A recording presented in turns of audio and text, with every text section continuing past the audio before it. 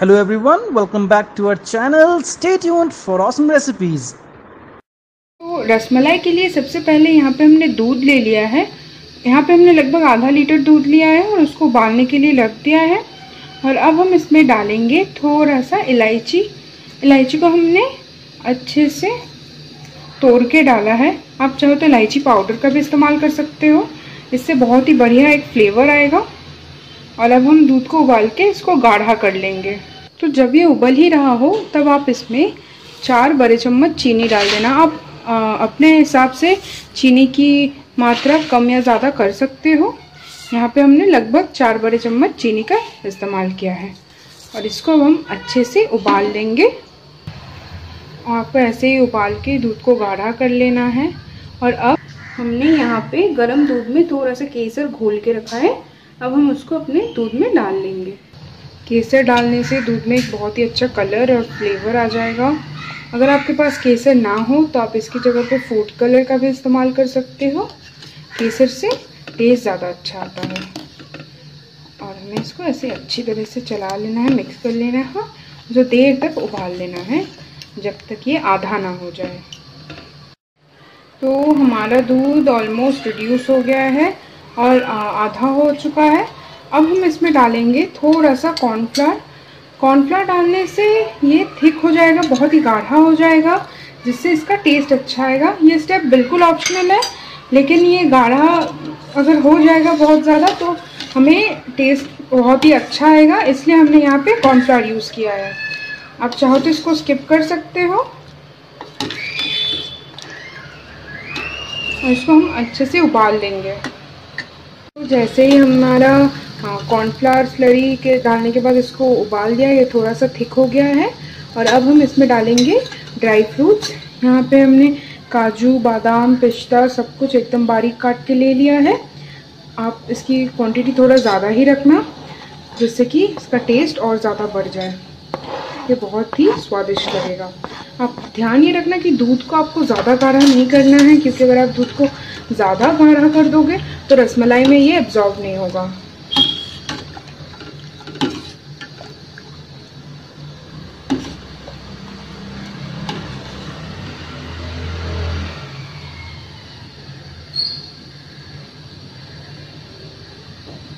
तो इसको एक उबाल लाने तक हम वेट करेंगे।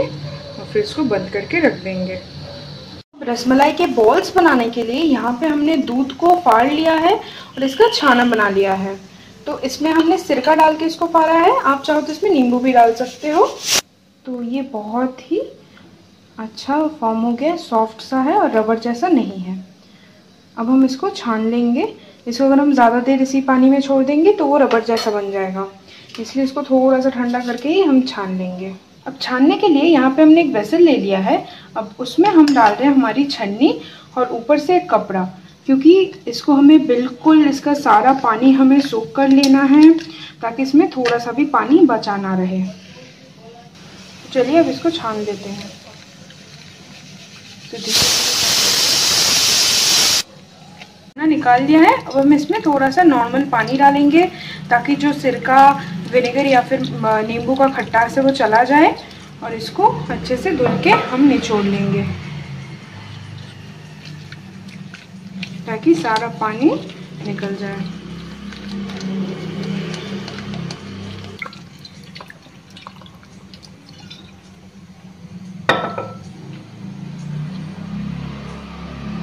और अब हम इसको उठाते हुए अच्छे से स्क्वीज़ कर लेंगे। तो हम इसको पूरा अच्छे से निचोड़ लेंगे और थोड़ी देर के लिए इसको कहीं पे टांग के रख देंगे, जिससे कि इसका पानी ड्रिप होके निकल जाए। और हमारे, हमारा छेना अच्छा सा हार्ड सा निकले। तो ये देखिए, ऐसे हमने स्क्वीज़ कर लिया इसको। तो चलिए इसको कहीं टांग के छोड़ देते हैं। तो ऐसे हमने इसको टांग दिया है।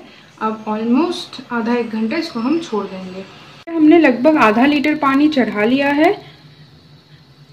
वो शीरा बनाने के लिए, जिसमें हम अपने रसगुल्लों को उबालेंगे। और इसमें हमने दो बड़े चम्मच चीनी डाल के छोड़ दिया है। इसको कुछ नहीं करना है, बस इसको उबाल लेना है ताकि हमारा चीनी गल जाए और इसमें उबाल आ जाए। अब देखिए, हमारा छेना रेस्ट हो गया है, तब हम इसको निकाल लेंगे।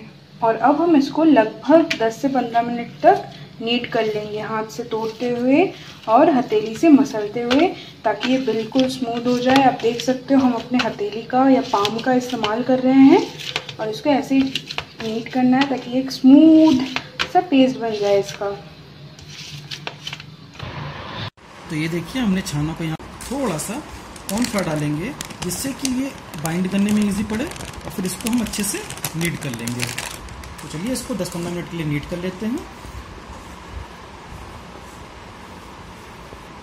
कॉर्नफ्लोर डालना इसमें एकदम ऑप्शनल है। हमने इस वजह से डाला है कि थोड़ा सा बाइंडिंग में ये ईजी पड़ता है। नहीं तो आप अगर स्किप करना चाहो तो स्किप भी कर सकते हो।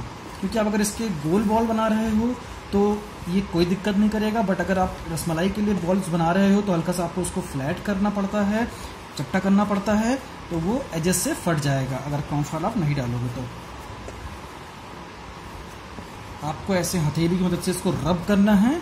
इसको आपको ऐसे नहीं करना है। आपको इसको थरोली रब करना है जिससे कि जितने भी इसके ग्रैन्यूल्स हैं, वो टूट जाएँ और इसका इलास्टिसिटी जो है वो ख़त्म हो जाए रबर जो इसमें, अगर आप इसको अच्छे से नीट नहीं कर रहोगे तो ये आपको रबर जैसा फील होगा, एकदम अच्छा नहीं लगेगा। इसलिए इसको आपको अच्छे से रब करना है अपनी हथेली की मदद से।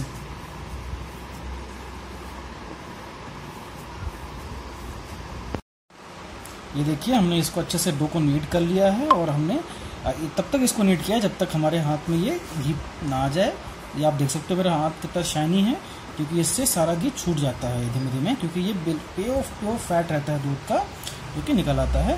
तो चलिए अब इसको हम शेप करते हैं। तो शेप करने के लिए हमने थोड़ा सा लोई को काट लिया है और हम इसको अपनी हथेली की मदद से गोल गोल ऐसे घुमाते रहेंगे।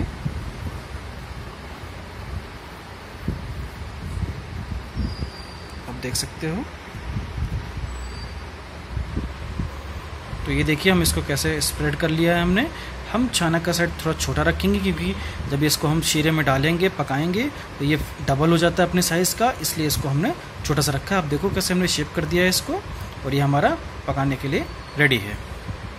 तो चलिए, बाकी डोसे भी हम लोग बॉल्स बना लेते हैं। तो आप देख सकते हो हमने इस शेप में रसमलाई को बना के ले लिया है। अब जो शीरा हमने चढ़ाया था आ, पानी और चीनी का वो गर्म हो चुका होगा उबल रहा होगा। अब हम इसको उसमें डाल देंगे। तो ये देखिए जो हमने पानी का शीरा बनाया था चीनी डाल के इसमें वो उबल रहा है और चीनी पूरा घुल चुका है। अब हम अपने रसमलाई को इसमें डाल देंगे और इसको लगभग 10-15 मिनट तक पका लेंगे। ये जब तक डबल हो जाएगा साइज़ में। आप चाहो तो इसको ढक के पका सकते हो। और इसको हम ऐसे पका लेंगे। तो ये देखिए हमारे दोस्तों, ये कैसे अपने साइज़ बड़ा हो रहा है इनका छेना का। अब इनको हम दोनों तरफ़ से अच्छे से, ये बहुत ज़्यादा सॉफ्ट होता है, इसको आपको हल्के हाथों से एकदम पलटना है, नहीं तो ये फूट जाएगा। और हल्के हाथ से पलटते हुए इनको दोनों तरफ़ से हम पका लेंगे। दस से पंद्रह मिनट तक, जिससे कि अच्छे से अंदर तक पूरे तरीके से फुल्ली कुक हो जाए। फिर इसको हम दूध में डाल देंगे। तो ये पूरा पक चुका है और इसका साइज़ भी डबल हो चुका है और इसको हम ऑलमोस्ट 10 मिनट के लिए रेस्ट कर देंगे इसमें। हल्का सा ठंडा हो जाए, फिर हम इसको अपने दूध जो गाढ़ा किया था डबरी, उसमें डालेंगे।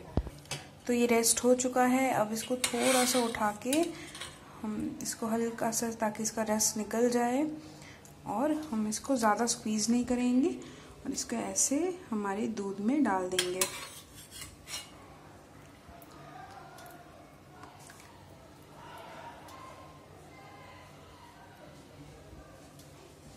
इसको हमें लगभग एक घंटा सोख करके रखना है ताकि इसमें दूध अच्छे से एब्जॉर्ब हो जाए और ये बहुत ही टेस्टी लगेगा। आप जितना देर तक इसको सोख करके रखोगे, उतना ही इसका टेस्ट बढ़ेगा। तो ये हमारा रसमलाई तैयार है। इसको बस हम थोड़ी देर के लिए छोड़ देंगे ताकि ये एब्जॉर्ब कर ले दूध पूरा अच्छे से। और ये बहुत ही सॉफ्ट बना है, बहुत ही टेस्टी बना है। और बिल्कुल स्पंजीनेस नहीं आएगा आपको इसमें। तो उसको रेस्ट कर लीजिएगा।